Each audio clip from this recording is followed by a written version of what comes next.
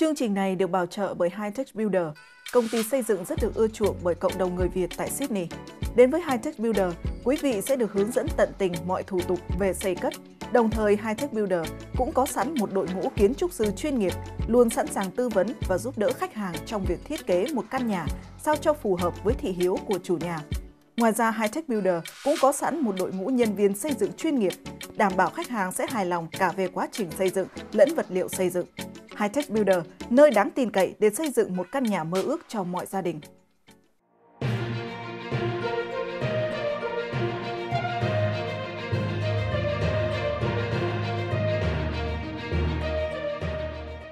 Kim Hoàng rất hân hạnh được trở lại với tất cả quý khán giả đang theo dõi chương trình Thời sự Á Châu của Vietfay TV. Và kính thưa quý vị, cùng hiện diện trong phòng thuyền với Kim Hoàng ngày hôm nay đó là nhà báo Lưu Dân. Kính chào nhà báo Lưu Dân. Vâng, xin uh, thân chào Kim Hoàng và xin kính chào quý vị. Vâng, kính thưa quý vị khán giả, trong phần thời sự ngày hôm nay thì những cái thông tin chúng tôi muốn gửi đến cho quý vị đó là những cái phản ứng của Trung Quốc sau khi hội nghị thượng đỉnh G7 đã diễn ra.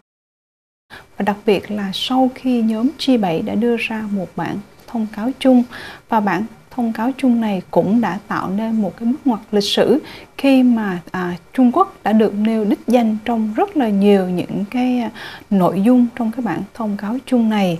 và cũng uh, thưa nhà báo lưu dân như tất cả mọi người trong những ngày vừa qua khi họ theo dõi cái hội nghị thượng đỉnh thì họ vẫn biết cái, cái sự thành công của cái hội nghị thượng đỉnh lần này là bởi vì đây là một cái hội nghị ở uh, của các chức quốc gia dân chủ phương Tây lần đầu tiên diễn ra mặt đối mặt trong cái thời đại dịch Covid-19 và như Kim Hoàng vừa mới nói tất cả những cái phát ngôn của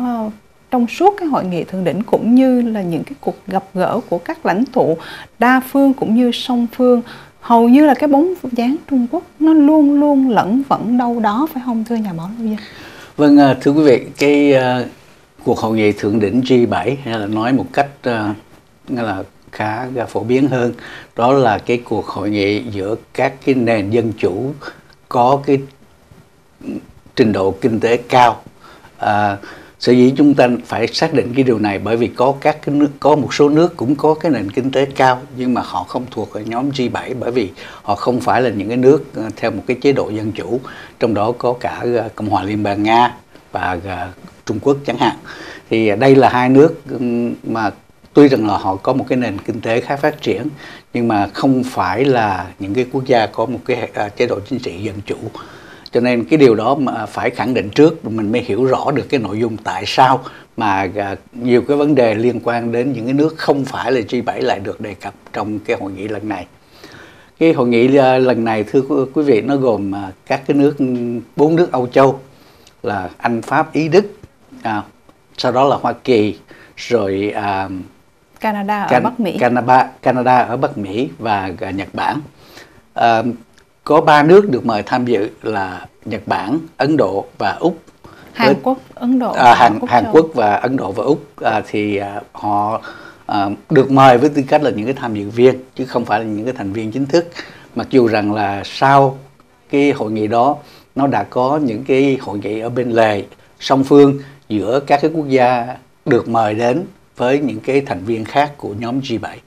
Vâng, thưa nhà báo Lưu Dân, hiện tại chúng ta đang nói đó là tất cả những cái um, những cái nội dung mà nhóm G7 gặp gỡ lần này là để có những cái đối những cái biện pháp hoặc là những cái kế hoạch gì đó đối trọng lại với một cái sự gia tăng một cái sự bành trướng của Trung Quốc ở nhiều mặt và đặc biệt là ở khu vực Biển Đông. Trong số đó thì cái kế hoạch vành đai và con đường của Bắc Kinh đã gây sự chú ý của rất là nhiều. Và do đó nhóm G7 cũng đã đạt được một cái đồng thuận về một cái kế hoạch gọi tắt là BW, B3W mà uh, có nghĩa là xây dựng lại một cái thế giới tốt đẹp hơn. À, Châm ngôn này có lẽ là xuất phát từ Tổng thống Joe Biden của Mỹ và với một cái kế hoạch này thì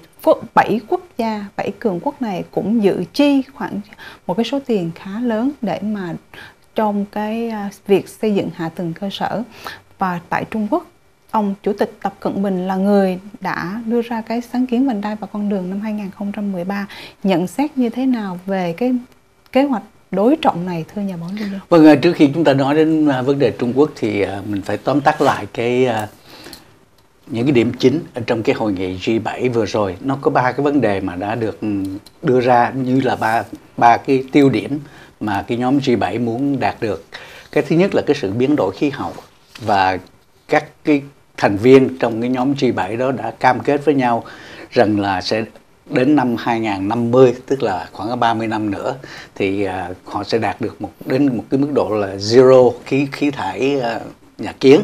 để mà làm cho cái môi trường nó nó trong sạch hơn và uh, có thể là uh, tiến đến một cái giống như cô vừa mới nói đó là một cái cái cái, cái thế, thế giới tốt đẹp, đẹp hơn. hơn. Cái vấn đề thứ nhì là cái vấn đề Covid-19 và uh, các cái cường quốc kinh tế này cũng đã cam kết một cái số tiền khá lớn tức là 100 tỷ đô la mỗi năm để mà à, hỗ trợ cho à, các cái nước nghèo đang bị đang đối phó vất vả với cái nạn đại dịch cũng như là tiến hành thúc đẩy thêm cái tốc độ về việc uh, chế tạo ra vaccine cũng như là những cái thuốc uh, trị, trị bệnh cho cho họ. Và dĩ nhiên là cả thế giới uh, đều uh, có một cái sự chú ý đặc biệt đến uh, vấn đề thứ ba, đó là vấn đề Trung Quốc. Đây là lần đầu tiên Trung Quốc được à, nêu đích danh ở trong à, một cái thông báo chung của à, hội nghị G7 vì những cái hành vi không tuân thủ theo những cái luật pháp quốc tế liên quan đến các cái vấn đề tranh chấp chủ quyền, liên quan đến những cái vấn đề nhân quyền, cũng như là vấn đề vi phạm những cái dân chủ, vân vân. Thì trong cái chương trình hôm nay có lẽ là chúng ta chỉ nói đến cái vấn đề này thôi, bởi vì những cái vấn đề khác nó cần phải có nhiều thời giờ hơn để mà có thể giải thích. Thưa quý vị cũng ờ, trong cái ờ, vấn đề liên quan đến Trung Quốc thì à, một ờ, quốc gia khác hay là một cái một cái vùng đất khác cũng được đề cập đích danh đó là Đài Loan. Vì và người ta cũng hiểu là phần nào nó cũng liên quan đến cái vấn đề Trung Quốc. Và vì vậy chúng ta có thể nói thêm về cái chuyện này một chút xíu. À, Trung Quốc uh, về phía ờ, phản ứng của Trung Quốc trước những cái lời lên án cũng như là những cái lập trường khá cứng rắn của cái nhóm G7 thì Trung Quốc đã có một cái một cái phản ứng tức thời. Đó họ cho rằng là ờ, đó là những cái vấn đề ờ, nội bộ của chúng tôi mà à, quý vị không có cái quyền gì để xía vào hết. Vì à, họ cho rằng là cái cái thời đại mà các cái nước ỷ mạnh ỷ có cái nền kinh tế cao ỷ có những cái nền kỹ thuật tân tiến là dành những cái tiếng nói và không cho phép hay là ờ, ngăn cản cái sự phát triển của những cái đất nước đang lên. Ví dụ như là Trung Quốc chẳng hạn. À, họ cho rằng là những cái vấn đề được nêu ra như là à, cái sự nghĩa là tàn hại cái người à, duy ngô nhĩ ở Tân Cương những cái vấn đề à, uy hiếp Đài Loan những cái vấn đề như là cái không có tôn trọng cái à, cái luật căn bản ở Hồng Kông mà cái hiệp ước Trung Anh đã ký kết khi mà chuyển giao cái cái vùng à, những địa này cho lại cho Trung Quốc. Thì tất cả những cái vấn đề này nó chứng tỏ một cái điều là cả thế giới, lần đầu tiên có một cái tiếng nói gần như là thống nhất đối với vấn đề Trung Quốc. Và điều đó nó cũng cho thấy rằng là họ đã thức tỉnh trước một cái cái cái con cọp đã uh, ngủ quên cả thế kỷ rồi. Bây giờ nó được đánh thức dậy nhưng mà khi mà nó đã thức dậy thì nó nó nhe nanh múa vuốt lên và đe dọa những cái, cái cái người khác đặc biệt là những cái quốc gia nhỏ những cái quốc gia nghèo đói những cái quốc gia láng giềng vân vân bằng những cái bẫy nợ khổng lồ mà qua cái chương trình một vành đai một con đường của ông Tập Cận Bình đưa ra năm 2013 Thưa nhà báo Lưu Dân, có trước khi hội nghị thượng đỉnh G7 diễn ra năm nay 2021 thì uh, Trung Quốc có vẻ là họ rất là ngạc nhiên với cái bản thông cáo chung được đưa ra. Lý do là họ đã đánh giá sai cái sức mạnh của cái nhóm bảy cường quốc này, bảy cường quốc dân chủ này bởi vì trong suốt năm 2019 thì chúng ta thấy đó là cái cuộc họp thượng đỉnh G7 có sự tham dự của Tổng thống Donald Trump và đây cũng là một cái sự xích mích giữa Tổng thống Trump và Tổng Thủ tướng Trudeau của Canada và vì vậy cái hội nghị thượng đỉnh G7 năm 2019 đó bị rạn nứt và nó không có đưa ra một cái bản thông cáo chung. Đó là một cái điểm mà Trung Quốc cho rằng sự suy yếu của cái nhóm G7 đã bắt đầu nhen nhúm. Đến năm 2020 vì vấn đề đại dịch thì cái hội nghị thượng đỉnh G7 cũng đã bị, cũng đã bị hủy bỏ và Trung Quốc nghĩ rằng cái lần hội nghị thượng đỉnh này thì nó cũng không có gì cần phải quan tâm cũng là một cái sự gặp gỡ qua loa của bảy lãnh tụ của bảy uh, của lãnh tụ của các quốc gia dân chủ mà thôi. Tuy nhiên họ hoàn toàn không ngờ về cái mức độ cứng rắn khi mà những cái thông báo chung đã được đưa ra. Bởi vì nếu như cái nhóm G7 này suy yếu thì Trung Quốc và Liên bang Nga sẽ có cơ hội nhiều hơn nữa để tiếp tục bành trướng ra thế giới bên ngoài. Nhưng câu trả lời đã có, đó nghĩa là thế mạnh của bảy quốc gia dân chủ vẫn hãy còn có đó và vẫn tiếp tục gia tăng sức mạnh chứ không hề giảm sụt và đó có lẽ là đã làm cho Trung Quốc rất là tức giận. Và đây là một cái sự khác biệt rất là lớn giữa hai cái ờ, chính quyền của ông Donald Trump và chính quyền của ông Joe, Joe Biden. Biden. Ông Donald Trump à, với tư cách là là tổng thống của cái siêu cường số 1 của thế giới à, có lẽ là chủ trương đơn thân độc mã đối với Trung Quốc và ông một cách nào đó đã tự tách Hoa Kỳ ra khỏi những cái liên minh về quốc phòng cũng như là về kinh tế, ví dụ như là đối với cái ờ, khối minh ước Đắc, Bắc Đại Tây Dương NATO, NATO chẳng hạn. Dạ. hoặc là đối với cái uh, G7 cái nhóm G7 này. Bây giờ người ta thấy rằng ông Biden ngược lại thì ông tập trung tập hợp lại cố gắng kết nối lại những cái đồng minh truyền thống của mình để tạo thành một cái lực lượng tổng hợp hơn là chỉ có Hoa Kỳ đơn lẻ đối đầu với Trung Quốc mà thôi bởi vì ông cho rằng là à, với một cái cường quốc đang trỗi dậy à, như Trung Quốc mà không phải là một cái sự trỗi dậy trong hòa bình mà một cái sự trỗi dậy nó có tính cách là gây hấn có tính cách là nó là chèn ép những cái nước khác. Và do đó cái nhóm như vậy với cái tư cách là một ừ, một cái khối có cầm ở trong tay một cái cái khối tài sản và một cái cái lượng GDP gần như là áp đảo. Thật sự là cái nhóm 7 quốc gia này họ chỉ chiếm khoảng 10% dân số toàn cầu thôi nhưng mà họ nắm trong tay tới 40% tổng sản lượng GDP toàn thế giới trị giá là 40.000 tỷ đô la. Đây là một con số không hề nhỏ. Vâng, à, dĩ nhiên là với một cái sức mạnh à, tài chính hoặc là một cái sức mạnh kinh tế như vậy thì rõ ràng à, Trung Quốc không với tư cách là một quốc gia đơn lẻ thì không thể nào mà có thể đối đối đầu lại được. Tuy nhiên, cái điều mà ông Joe Biden tìm kiếm là cái sự kết hợp lại và có một tiếng nói đồng nhất để mà mà thực hiện cái vấn đề này thôi, thưa cô. Và đó là ông Biden đã cho thấy sự thành công của Tổng thống Mỹ khi trong cái chuyến xuất ngoại đầu tiên trong cái nhiệm kỳ tổng thống lần này. Và như nhà báo Lưu Dân vừa mới nói, chúng tôi sẽ đi ngược đề mà đi lạc đề một chút xíu. Là nhân cái chuyến công du lần này thì tổng thống Joe Biden cũng một lần nữa khẳng định lại cái vị thế của Mỹ với ờ, với các quốc gia trong cái nhóm Bắc Đại Tây Dương là NATO. Bởi vì trước khi đến London để tham dự hội nghị thượng đỉnh G7 thì ông cũng đã có một cái cuộc họp tại thủ đô nước Bỉ với ờ, đại diện của các khối NATO và à, sự thành công vẫn vượt ngoài mong đợi.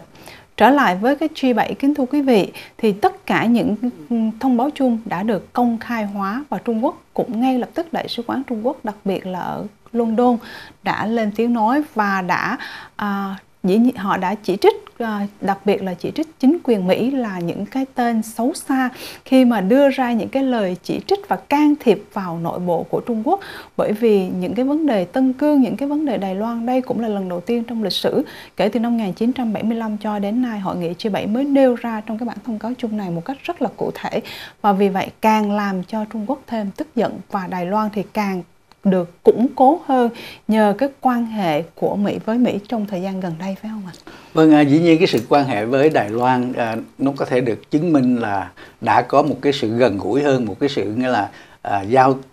tế giao tiếp một cách mặn mà hơn so với cái thời kỳ trước đây cụ thể là qua những cái chuyến viếng thăm của các cái thượng nghị sĩ của Mỹ đến Đài Loan qua những cái sự thiết lập những cái cái cơ cấu để hai bên có thể nói chuyện một cách nghĩa là thẳng thắn và có những sự hợp tác đi vào chiều sâu nhiều hơn là chỉ là nói miệng mà thôi. À,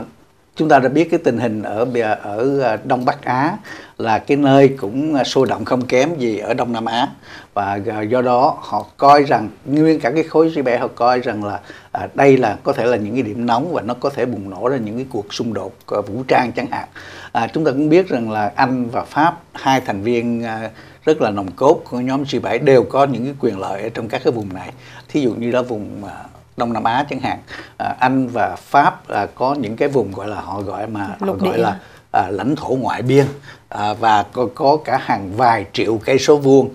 chủ quyền của mình ở trên cái biển Đông. Và do đó nếu mà Trung Quốc bằng võ lực hay là bằng những cái sự chèn ép các nước láng giềng để công bố cái đường lưỡi bò chín đoạn của họ là thuộc chủ quyền của Trung Quốc thì rõ ràng nó không những xâm phạm cái chủ quyền và quyền lợi của các nước láng giềng mà còn cả các uh, thành viên của cái nhóm G7 nữa. Nhưng mà Trung Quốc không nói suông thưa nhà báo Lưu Dân là bởi vì hội nghị G7 diễn ra trong 3 ngày 11, 12 và 13 tây tháng 6. Sau khi kết thúc hội nghị trường thượng đỉnh G7 hai ngày sau đó, nghĩa là vào ngày 15 tây tháng 6 thì Trung Quốc lập tức đã đều 28 chiến đấu cơ của Trung Quốc áp sát eo biển Đài Loan. Đây rõ ràng là một cái lời cảnh báo đối với Đài Loan sau khi nước Mỹ đã chính thức lên tiếng là nước Mỹ sẽ uh, sát cánh với Đài Loan để Đài Loan có đủ khả năng tự vệ. Thì chắc có lẽ Trung Quốc đang muốn làm một cái bài toán thử và xem Đài Loan có thể tự vệ trước một cái dàn chiến đấu cơ của Trung Quốc lần này hay không. Vâng, ờ, cái sự uy hiếp bằng ờ, không lực của uh, Trung Quốc nó không phải là uh, mãi đến bây giờ mới có nhưng mà dĩ nhiên là nó tăng cường cái tốc độ nhiều hơn và uh, cũng uh, như là một cái lời cảnh báo với các nước là đừng có đụng vào cái chuyện nội bộ vâng. của chúng tôi. Vâng. Tuy nhiên người ta cũng cũng vẫn nhìn thấy một cái viễn cảnh là cái chính sách gọi là nhất quốc lưỡng chế một quốc gia hai chế độ của Trung Quốc nó không còn là một cái chuyện mặn mà gì nữa đối với nhiều nước trong đó có cả Hoa Kỳ. Bởi vì họ cũng có thể xem lại một cái quan hệ ngoại giao với Bắc Kinh khi mà à, Bắc Kinh dùng sử dụng vũ lực để mà cưỡng chiếm hoặc là chèn ép Đài Loan chẳng hạn. À, chúng ta cũng thấy rằng là nhiều à, cái à, phương tiện phòng thủ quốc phòng của Đài Loan cũng đã được uh, Hoa Kỳ tăng cường rất là nhiều. Bên cạnh đó uh, chúng ta thấy những cái chiến hạm từ Đức, từ Anh và từ Pháp cũng bắt đầu thường xuyên là ra vào cái vùng biển Đông này nhiều hơn và cái sự hiện diện càng ngày càng đông đảo càng lúc càng thường xuyên hơn á nó cũng là một cái sự răng đe nào đó một cái sự ngăn chặn nào đó cho cái tham vọng của Trung Quốc muốn chiếm lại Đài Loan trong cái thời gian sắp tới. Vâng, kính thưa quý vị, cũng trong cái hội nghị G7 lần này chúng tôi sẽ rất thiếu sót nếu chúng ta không đề cập đến những cái thành công mà Thủ tướng Scott Morrison đã đạt được trong cái tư cách là uh, trong cái vai trò được mời tham dự khi mà ông đã tranh thủ được sự ủng hộ của uh, nước Anh và của nước Pháp trong cái vấn đề uh, căng thẳng với Trung Quốc. Trước đây thì Washington cũng đã bày tỏ lập trường ủng hộ uh, đối với Canberra khi mà đích thân Tổng thống Joe Biden cũng như Ngoại trưởng Antony Blinken đã công bố là nếu Bắc Kinh không không từ bỏ cái việc chèn ép nước Úc thì cái ban giao giữa Bắc Kinh và Washington sẽ không thể nào được cải thiện và một lần nữa, Thủ tướng Morrison của chúng ta cũng đã tranh thủ được sự ủng hộ về mặt giấy à, về mặt lý thuyết đó từ Vương quốc Anh và từ nước Pháp. Đây là những cái hành động rất là mới và à, cũng khẳng định là nước Úc sẽ không đơn độc trong cái cuộc chiến với Trung Quốc trong những tháng vừa qua phải không thưa nhà báo vâng? Tôi chỉ là một cái ờ, một cái quan sát viên trong cái hội nghị thượng đỉnh G7 nhưng mà Úc cũng có những cái tiếng nói mà đã đem lại những cái kết quả nhất định đặc biệt là cho cái ờ, sự bảo vệ an ninh quốc phòng cũng như là phát triển kinh tế của nước Úc mà trong đó đáng kể nhất là cái hiệp ước tự do mậu dịch ờ, được ký kết với Vương quốc Anh giữa Thủ tướng Scott Morrison và Thủ tướng Anh là ông Boris Johnson. À, thưa quý vị, Anh và Úc vốn có những cái liên hệ từ lâu đời. Có thể nói là từ khi mà Úc lập quốc cho đến bây giờ. Khi tôi xin mở ngoặt cái chữ lập quốc này là từ khi người Âu Châu da trắng đến lục địa Úc Châu. Chứ thật ra thì nước Úc đã có từ vài chục ngàn năm trước năm rồi. rồi. Yeah. Dạ. À, vâng, và cái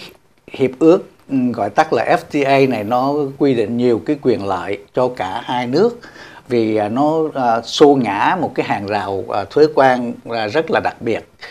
cho các cái vấn đề như là xuất nhập cảng nông phẩm thực phẩm và ngay cả việc trao đổi con người ngay cả những cái việc mà tạo những cái cơ hội làm việc cho người Anh ở Úc hoặc là cho người Úc ở Anh vân vân. Thì đây là một cái một cái bước tiến rất là mới bởi vì chúng ta biết rằng à, Anh là cái thị trường à, mang lại cái lợi ích nhiều nhất cho cho nước Úc. Anh được uh, xếp vào hàng thứ 8 ở trong các cái đối tác ừ, về ngoại về thương của nước Úc, trong khi Úc là cái hạng 20 của nước Anh. À, nước Anh à, ở đây chúng ta cũng cần mở thêm một cái giống ngoặc khác nữa thưa quý vị. Đó là cái chữ Vương quốc Anh thì thường được uh, nhiều người hiểu chỉ là cái nước Anh mà thôi. Mà thật sự cái Vương quốc Anh nó gồm bốn vùng. Là nước Anh à, nước uh, uh, Scotland xứ Wales và Northern Ireland yeah. Dạ. thì tất cả uh, trong tương lai nó sẽ đó. trở thành ba vùng bởi vì Scotland đang tranh đấu để mà trở thành cái khu vực tự trị đó thưa nhà báo Lưu Dân. thưa cô Northern uh, Ireland cũng tranh đấu cả trăm năm nay rồi Dạ mà chưa thành công phải không ạ? vâng và với một cái dân số 66 67 triệu đó thì nó à, có một cái nền kinh tế vững mạnh hơn là nước Úc rất là nhiều và cái hiệp ước FTA vừa rồi được ký kết nó mang lại một cái lợi ích cho người tiêu thụ lẫn cho những những người à, hoạt động mà kinh doanh. Đặc biệt là trong các cái chính sách về à, di trú về à, trao đổi nhân nhân công vân vân. À, theo đó thì hàng hóa của nước Úc đặc biệt là những cái hàng nông phẩm như là à, rượu vang à, thịt trừu rồi bánh kẹo vân vân à, của Úc khi xuất cảng sang Anh thì nó cũng sẽ được bán bằng giá với nước Úc tức là người tiêu thụ Anh sẽ có hưởng nhiều cái quyền lợi hơn. Và, chúng tôi cũng phải chúng tôi cũng phải mở ngoặt cái vấn đề này là như vậy là trong tương lai người Anh sẽ được thưởng thức món Tim Tam của Úc mà không cần phải mua với giá đắt đỏ hơn. Bởi vì đó là cái món ăn mà dân Anh rất là khoái khẩu thưa nhà báo Lưu Dân. Bao nhìn ở một mặt khác thưa, thưa quý vị đây cũng chính là một cái một cái nỗ lực tìm thị trường mới nhằm thoát trung có nghĩa là à, giảm bớt cái cái mức độ lệ thuộc vào một cái thị trường chính duy nhất là Trung Quốc chẳng hạn.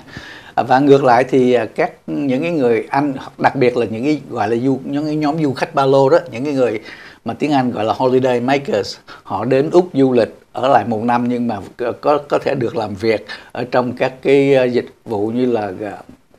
à, về nông nghiệp chẳng hạn và hái trái hoặc là rau cải hoặc là vân vân đó. Thì à, họ sẽ bổ sung thêm một cái nguồn nhân lực mà nước Úc luôn, Úc luôn luôn thiếu. Nhưng mà ngược lại nó còn có những cái vấn đề khác ở trong nội bộ nước Úc. Thí dụ như là cái vấn đề là nhiều người à, cho rằng là với những cái hiệp ước này đó thì à, một số các cái nguồn cung cấp nhân lực về nông nghiệp à, truyền thống của nước Úc, thí dụ như từ các cái đảo quốc Thái Bình Dương, thí dụ như từ Indonesia, từ Việt Nam, à, vân vân, sẽ giảm đi cái số lượng đó và nó sẽ gây thiệt thòi cho những cái nước vốn từ lâu nay vẫn cung cấp cái nguồn nhân lực này. Vâng, những cái thông tin này thì nhà báo Lưu Dân cũng đã một lần giải thích trong cái phần điểm báo ngày hôm qua thứ bảy uh, của Vietfay TV. Tuy nhiên trong ngày hôm nay thì chúng tôi cũng nhắc sơ qua những cái thành công mà Thủ tướng Scott Morrison đã đạt được tại Anh Quốc cũng như tại Paris phải không thưa nhà báo Lưu Dân? Ở uh, Paris thì cũng vậy thưa cô cái cái mối quan hệ giữa Úc và Pháp nó cũng là một cái mối quan hệ khá thân thuộc và nồng ấm mặc dù rằng là cái chuyện mà hiệp ước uh, cái, xây dựng uh, các cái hạm đội thông ngầm đó vẫn chưa đâu tới đâu hết. vẫn còn có một vài trục trặc. Dù vậy thì uh, người ta có thể nói rằng đây là cái nỗ lực đáng khen của ông Scott Morrison khi xuất ngoại giữa cái thời buổi đại dịch này để mang về cho Úc những cái lợi ích to lớn như vậy và nhìn chung nữa thì chúng ta sẽ trở lại cái nguyên nhân chính mà trong cái chương trình ngày hôm nay đó là thái độ của Trung Quốc sau khi mà tất cả các quốc gia dân chủ đã đưa ra một cái bản thông cáo chung cũng như những cái cuộc gặp gỡ song phương bên bên lề hội nghị thượng đỉnh G7 thì cái à, những cái nguyên nhân chính hoặc là những cái nội dung chính được thảo luận vẫn có liên quan đến Trung Quốc như là những cái vấn đề nước Úc và nước Pháp gặp gỡ thì cũng có liên quan đến vấn đề làm thế nào để hải quân Pháp có thể thường xuyên tham gia tuần tra khu vực Biển Đông và đặc biệt là đi vào vùng 12 hải lý để khẳng định chủ quyền uh, uh, lãnh thổ theo cái luật biển UNLOS năm 1982 thì chắc chắn là Bắc Kinh hiện nay sẽ tiếp tục trả đũa nước Úc thông qua những cái vấn đề này. Điều đó Bắc Kinh có thể thực hiện được hay không thì nó cũng phải còn tùy nhiều yếu tố thưa cô. Thứ nhất là nếu mà ngăn chặn hoặc là À, bao vây nước Úc bằng những cái biện pháp kinh tế đó thì cái người thiệt hại đầu tiên lại là Trung Quốc bởi vì à, chúng ta biết rằng là à, Úc là cái nguồn cung cấp nhiều nhất và rẻ nhất cho Trung Quốc những cái nguồn nhiên liệu uh, nguyên liệu thô. Thí dụ như là về khoáng sản thí dụ như là về nhiên liệu uh, dầu hỏa hoặc là than đá hoặc là khí đốt vân vân. Và những đó là những cái mặt hàng chiến lược mà Úc à, mà Trung Quốc rất là cần để phát triển. Bởi vì họ không thể mua từ Brazil hoặc là mua từ những cái nước khác nó xa xôi hơn. Cái đường vận chuyển nó khó khăn hơn và dĩ nhiên là cái giá nó đắt hơn. Và để mà trả giá cho cái việc này thì Trung Quốc rất là ngần ngại khi mà phải áp dụng thêm những cái uh, biện pháp gọi là trừng phạt hoặc là răng đe nước Úc uh, vì những cái lập trường chính trị hoặc là vì những cái quan điểm của nước Úc đối với những cái vấn đề như là ở Tân Cương, ở Hồng Kông vân vân đó. Thì như chúng ta thường nói nhiều lần uh, cái quan hệ giữa hai nước thường nó đặt trên cái căn bản quyền lợi chứ không phải là làm việc charity. À, và do đó thì mọi một cái biện pháp trừng phạt họ phải đều cân nhắc đến cái sự thiệt thòi của chính mình và trong cái chuyện này thì úc có đồng minh trung quốc không có đồng minh vâng. thứ thứ hai nữa là những cái đồng minh của nước Úc, đặc biệt là trong cái khối G7 họ đã có những cái biện pháp cụ thể để đối trọng lại với cái kế hoạch một vành đai một con đường một cách khá hiệu quả hơn là những cái lời nói suông, hơn là những cái chủ trương mà một chọi một dưới thời của ông Donald Trump. Như vậy thì theo đánh giá của nhà báo Lưu Dân là cái uh, sáng kiến xây dựng lại thế giới tốt đẹp hơn của nhóm G7 có thể thực sự đối trọng với kế hoạch vành đai và con đường. Và điều này cũng có nghĩa là cái giấc mộng của ông Tập Cận Bình sẽ không thể trở thành hiện thực. Giấc mộng của ông Tập Cận Bình là uh, 100 năm uh, Trung Hoa chẳng hạn, ví dụ là từ 1949 cho đến 2049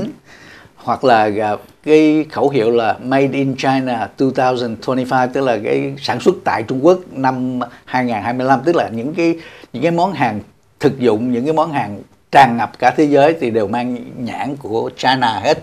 Thì chúng ta chỉ nhìn qua ba ba chuyện là đủ thấy là cái giấc mộng của tập cận mình không dễ dàng thực hiện. Cái thứ nhất là cái, những cái biện pháp đối trọng với một vành đai, một con đường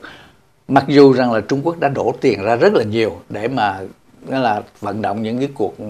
là các cái nước khác tham gia vào cái chương trình này và họ đã thành công. Hơn 100 quốc gia đã, đã, đã tham gia trong cái chương trình này. Nhưng mà bây giờ với 100 tỷ mỗi năm của cả bảy cái cường quốc kinh tế này đổ vào và mà nó vô thời hạn thì một một phần nào đó nó cũng đã à, giúp cho các cái à, các cái nước mà đang lâm vào những cái bẫy nợ đó nó có một cái con đường thoát cái thứ hai là những cái giá trị về dân chủ và nhân quyền cũng được tuyên dương. Và với một cái sự à, can thiệp một cách khá hữu hiệu về các cái vấn đề đàn áp người duy ngô nhĩ phản đối những hay là à, giúp đỡ cho những cái phong trào dân chủ ở Hồng Kông vân vân. Và à, cái có lẽ là quan trọng hơn là họ lập được một cái liên minh và cùng uh, tạo thành một cái mặt trận thống nhất chống lại những cái tham vọng của Bắc Kinh về không những về cả cái vấn đề an ninh ở trong khu vực Biển Đông ở à, và ở Đông Bắc Á mà còn cả các cái vấn đề có tính cách à, chính trị toàn cầu nữa. Có nghĩa là chúng ta có thể kết luận lại một câu là đợt tổng tấn công vào Trung Quốc đã bắt đầu. Chưa bao giờ người ta thấy có một cái tiếng nói thống nhất như vậy ở trên à, phạm vi toàn thế giới vâng. và ông Tập Cận Bình có thể sẽ phải nhiều đêm mất ngủ trước khi ông có thể sẽ phải điều chỉnh cái chính sách của mình. Rất cảm ơn những thông tin hữu ích của nhà báo Lưu Dân cho chương trình ngày hôm nay. Vâng, xin thân chào cô Kim Hoàng và xin kính chào quý vị. Kim Hoàng xin trân trọng kính chào và xin hẹn gặp lại tất cả quý vị trong chương trình tuần tới.